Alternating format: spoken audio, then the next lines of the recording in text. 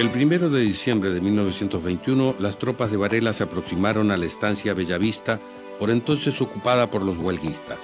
El gallego Uterelo fue llamado a parlamentar con los militares, pero una vez que se apersonó, lo fusilaron.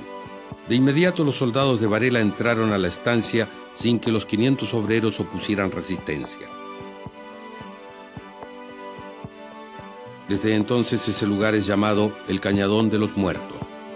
Los habitantes de Gobernador Gregores, la ciudad vecina a los hechos, levantaron un monumento. Osvaldo quiso pasar por este pueblo por el cual tiene una simpatía especial.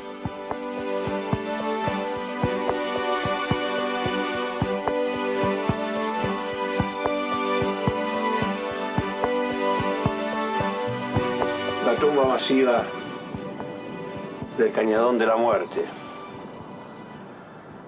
Al lado apenas de la estancia Bellavista de los Hospitaleche. Acá hay 200 cuerpos, cadáveres, huesos de los fusilados por orden del teniente coronel Varela.